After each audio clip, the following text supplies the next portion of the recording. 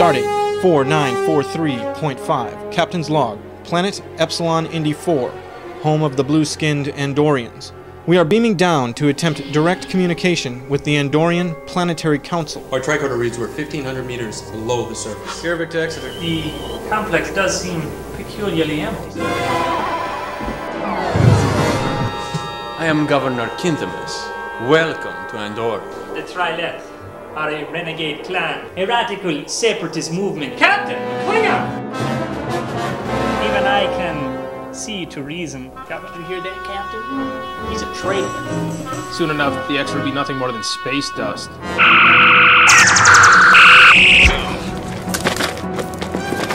Should have beamed up to your ship when you had the chance, Captain Fairfax.